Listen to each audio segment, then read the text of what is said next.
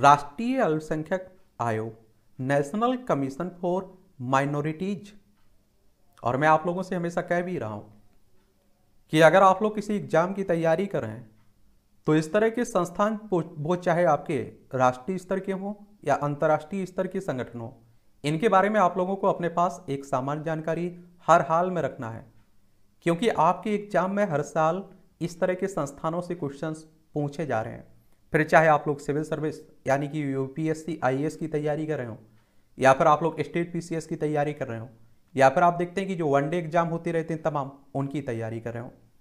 और एक काम और किया करिएगा, आप लोग जिस भी एग्ज़ाम की तैयारी कर रहे हैं, उसके कम से कम चार से पाँच साल पुराने क्वेश्चंस पेपर उठा के देखा करिएगा, उन्हें समझा करिएगा, और तब आप लोगों को देखने को मिलेगा कि कहाँ से किस तरह के क्वेश्चंस पूछे जा रहे हैं आपके एग्ज़ाम में, ठीक है?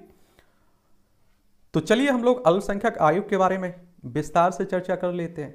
और इतना कहा जा सकता है कि इस क्लास को देखने के बाद अगर आपके राष्ट्रीय अल्पसंख्यक आयोग से क्वेश्चंस आपके एग्ज़ाम में आ रहे हैं तो उसके आंसर आप लोग, उसके जवाब बहुत ही आसान तरीके से देने की स्थिति में पहुँच जाएँगे। और इससे पहले भी हम लोग बहुत सारे संगठनों के बारे में बात कर चुके हैं।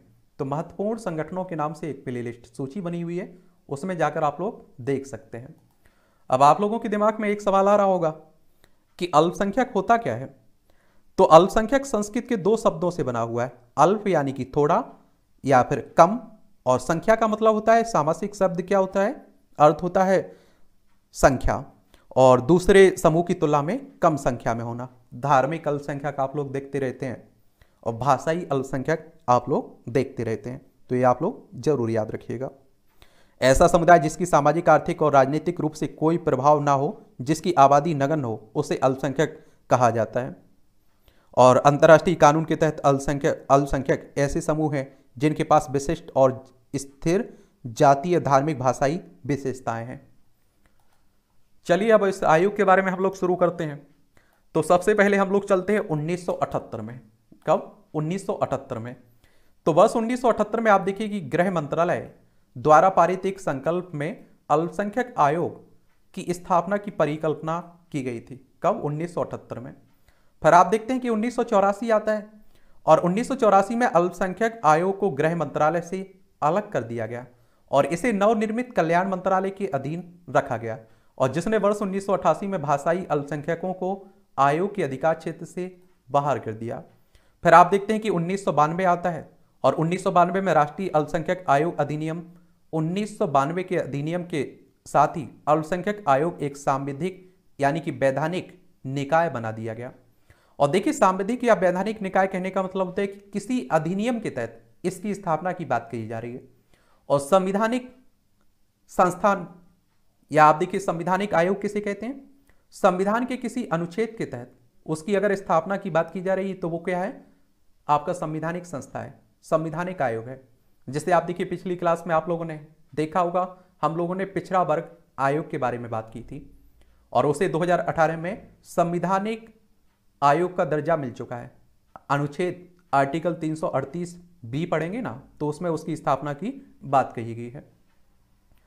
और आप देखते हैं कि इसका नाम बदलकर राष्ट्रीय अल्पसंख्यक आयोग कर दिया गया था। और वर्ष उन्नीस में पहले वैधानिक राष्ट्रीय आयोग का गठन किया गया और पाँच धार्मिक समुदायों, जिसमें आप देखिए मुस्लिम, ईसाई, सिख, बौद्ध और पारसी को अल्पसंख्यक समुदायों के रूप में अधिसूचित किया गया। किसमें कौन कौन है? मुस्लिम, ईसाई, सिख बौद्ध, पारसी। फिर आप देखेंगे 2014 में जैन धर्म मानने वालों को भी अल्पसंख्यक समुदाय के रूप में अधिसूचित किया गया था। तो अभी वर्तमान में आप देखिए मुस्लिम शामिल हो गए, ईसाई शामिल हो गए, सिख शामिल हो गए, बौद्ध, पारसी और जैन धर्म हो गया, ठीक है? और देखिए अल्पसंख्यक आयोग के बारे में अगर आपसे डायरेक्ट ही पूछे कि इसकी स्थापना कब की गई थी तो आप देखेंगे कि 17 मई उन्नीस सौ तिरानवे में इसकी स्थापना की गई थी। इसका हेडक्वार्टर कहाँ देखने को मिलेगा? नई दिल्ली में देखने को मिलेगा। अल्पसंख्यक कार्य मंत्रालय ना, उसी के अंडर में ये काम करता है। अब बात आती है इसकी किसकी? इसकी संरचना की। इसमें कौन कौन शामिल रहता है? तो इसमें आप देखेंगे कि राष्ट्रीय अल्पसंख्यक आयोग में एक अध्यक्ष होता है, एक उपाध्यक्ष होता है और पाँच सदस्य होते हैं। और इन सभी का चयन अल्पसंख्यक समुदायों में से ही किया जाता है। तो टोटल कितने हो गए? सात। एक तो आपका अध्यक्ष हो गया, एक उपाध्यक्ष हो गया और पाँच सदस्य। ये सभी किस, कहाँ से होना चाहिए? अल्पसंख्यक समुदायों में से होना चाहिए इनका चयन। केंद्र सरकार द्वारा नामित किए गए जाने वाले इन व्यक्तियों को योग्य क्षमतावान और सत्यनिष्ठा होना चाहिए। ये योग्यता आप लोग कह सकते हैं। और इनके कार्यकाल की अगर हम लोग बात करें तो प्रत्येक सदस्य का कार्यकाल पद धारण करने की तिथि से तीन वर्ष की अवधि तक होता है। ये भी आप लोगों को याद रखना चाहिए। इनके कार्यकाल कितना रखा गया है? तीन साल का रखा गया है। अब बात आती है कि राष्ट्रीय अल्पसंख्यक आयोग का काम क्या है? इसके कार्य क्या है? क्योंकि आप सभी जानते हैं कि जब किसी आयोग की स्थापना की जाती है तो उसका कोई काम तो रहता ना। किसी काम के उद्देश्य से ही तो उसकी स्थापना की जाती है। तो इसका काम कार्य है संघ और राज्यों के तहत अल्पसंख्यकों के विकास की प्रगति का मूल्यांकन करना। संविधान और संघ तथा राज्यों के कानूनों में अल्पसंख्यकों को प्रदान की गई सुरक्षा उपायों की निगरानी करना। अल्पसंख्यक समुदाय के हितों की सुरक्षा के लिए नीतियों के प्रभावी क्रियान्वयन हेतु आवश्यक सिफारिशें करना। अल्पसंख्यकों को उनके अधिकारों, रक्षोपायों से वंचित करने से संबंधित विनिर्दिष्ट शिकायतों की जाँच पड़ताल करना। अल्पसंख्यकों के विरुद्ध किसी भी प्रकार के विभेद के कारण उत्पन्न होने वाली समस्याओं का अध्ययन करना, करवाना और इन समस्याओं को दूर करने के लिए सिफारिशें करना। और अल्पसंख्यकों के सामाजिक, आर्थिक और शैक्षिक विकास से संबंधित विषयों का अध्ययन अनुसंधान और विश्लेषण करना इसका काम है।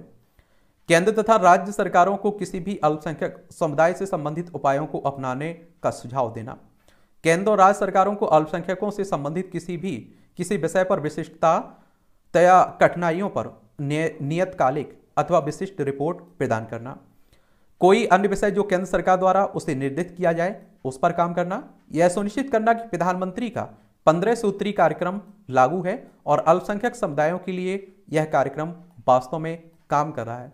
अगर आपसे पूछे कि प्रधानमंत्री का पंद्रह सूत्री कार्यक्रम किससे संबंधित है? अल्पसंख्यक समुदायों से संबंधित है। अब आप देखेंगे कि विश्व अल्पसंख्यक अधिकार दिवस, इसके बारे में भी जान लीजिए आप लोग। प्रत्येक वर्ष, यानी कि हर साल 18 दिसंबर को राष्ट्रीय अल्पसंख्यक आयोग द्वारा विश्व अल्पसंख्यक अधिकार दिवस का आयोजन किया जाता है। और 18 दिसंबर उन्नीस सौ बानवे को संयुक्त राष्ट्र ने धार्मिक या भाषाई, राष्ट्रीय अथवा जातीय अल्पसंख्यकों से संबंधित व्यक्ति के अधिकारों का वक्तव्य को अपनाया था। और संयुक्त राष्ट्र की अगर हम लोग बात करें तो यूनाइटेड नेशंस की बात हो रही है।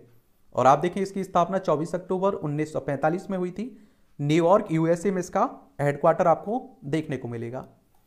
अगर हम लोग अल्पसंख्यकों से संबंधित वैधानिक और कानूनी प्रावधान अगर देखें तो इसमें आप देखिए, राष्ट्रीय अल्पसंख्यक आयोग अधिनियम अल्पसंख्यकों को केंद्र सरकार द्वारा अधिसूचित एक समुदाय के रूप में परिभाषित करता है और भारत सरकार द्वारा देश में छह धर्मों, मुस्लिम, ईसाई, सिख, बौद्ध और पारसी और जैन धार्मिक, जैन धर्म को धार्मिक अल्पसंख्यक घोषित किया गया है।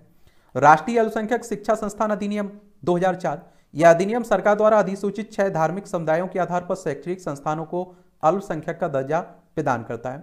भारतीय संविधान में अल्पसंख्यक शब्द को परिभाषित नहीं किया गया है। ये ज़रूर आप लोग याद रखिएगा। डायरेक्ट ही क्वेश्चन पूछ लेता है कई बार। और इंटरव्यू में हो सकता है आपसे पूछ ले कि क्या भारतीय संविधान में अल्पसंख्यक अल्पसंख्यक शब्द को परिभाषित किया गया है? बिल्कुल नहीं किया गया। हालाँकि संविधान धार्मिक और भाषाई अल्पसंख्यकों को मान्यता ज़रूर देता है। अगर आप लोग संविधान के भाग तीन को पढ़ें, अनुच्छेद पंद्रह सोलह को पढ़ें तो ये यह अनुच्छेद धर्म, जाति लिंग या फिर जन्म स्थान के आधार पर नागरिकों के साथ भेदभाव का निषेध करता है, भेदभाव ना करने की बात करता है। राज्य के अधीन किसी भी कार्यालय में रोज़गार या नियुक्ति से संबंधित मामलों में नागरिकों को अवसर की समानता का अधिकार देता है अनुच्छेद सोलह, जिसमें धर्म, जाति, लिंग या फिर जन्म स्थान के आधार पर किसी भी प्रकार का भेदभाव ना करने की बात करता है। फिर अनुच्छेद अगर 25 एक को पढ़ें 26 को पढ़ें और 28 को पढ़ें तो ये, यह लोगों को अंताकरण की स्वतंत्रता और स्वतंत्र रूप से धर्म का प्रचार, अभ्यास, प्रचार करने का अधिकार प्रदान करता है। संबंधित अनुच्छेदों में प्रत्येक धार्मिक संप्रदाय या वर्ग को धार्मिक और धर्मार्थ उद्देश्यों उद्देश्यों हेतु धार्मिक संस्थानों को स्थापित करने का अधिकार तथा अपने स्वयं के धार्मिक मामलों का प्रबंधन, संपत्ति का अधिग्रहण और उनके प्रशासन का अधिकार शामिल है। राज्य द्वारा पोषित संस्थानों में धार्मिक शिक्षा या धार्मिक कार्यों में हिस्सा लेने या फिर अनुदान सहायता प्राप्त करने की स्वतंत्रता की बात करता है, अनुच्छेद 28 फिर आप देखते हैं कि अनुच्छेद 29 को देख लीजिए। यह अनुच्छेद उपबंध करता है कि भारत के राज्य क्षेत्र या उसके किसी भाग के निवासी नागरिकों के किसी अनुभाग को अपनी विशेष भाषा, लिपि या संस्कृति को बनाए रखने का अधिकार होगा। अनुच्छेद 29 के तहत प्रदान किए गए अधिकार अल्पसंख्यक तथा बहुसंख्यक दोनों को प्राप्त है। हालाँकि सर्वोच्च न्यायालय ने कहा कि इस लेख का दायरा केवल अल्पसंख्यकों को अल्पसंख्यकों तक ही सीमित नहीं है, क्योंकि अनुच्छेद में नागरिकों के वर्ग शब्द के उपयोग में अल्पसंख्यकों के साथ साथ बहुसंख्यक भी शामिल हैं।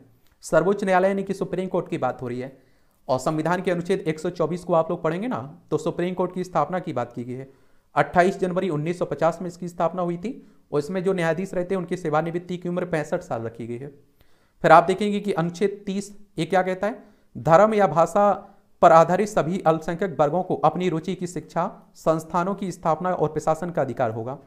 और अनुच्छेद 30 के तहत संरक्षण केवल अल्पसंख्यकों, धार्मिक या फिर भाषाई तक ही सीमित है और नागरिकों को किसी भी वर्ग, जैसा कि अनुच्छेद 29 के तहत, तक विस्तारित नहीं किया जा सकता है। और अनुच्छेद आप देखेंगे 50 ये क्या कहता है? 50 बी 350 बी। मूल रूप से भारत के संविधान में भाषाई अल्पसंख्यकों के लिए विशेष अधिकारों के संबंध में कोई प्रावधान नहीं किया गया था। और ऐसे सातवीं संविधानिक संशोधन अधिनियम उन्नीस द्वारा संविधान में अनुच्छेद 350 बी के रूप में जोड़ा गया। यह भारत के राष्ट्रपति द्वारा नियुक्त भाषाई अल्पसंख्यकों के लिए एक विशेष अधिकारी का प्रावधान करता है। कौन सा अनुच्छेद? 350 बी। तो एक कहानी है, आप देखेंगे, राष्ट्रीय अल्पसंख्यक आयोग की। इतनी जानकारी मुझे लगता है कि इस आयोग के बारे में आप लोग याद रखिए। अगर क्वेश्चन आएगा तो इसी से आपका निकलेगा। ठीक है? किसी और आयु के बारे में बात करनी है, किसी और टॉपिक के बारे में बात करनी है तो आप लोग उसका नाम नीचे बता सकते हैं और बाकी आप लोग पढ़ते रहिए और मेहनत करते रहिए आप लोग।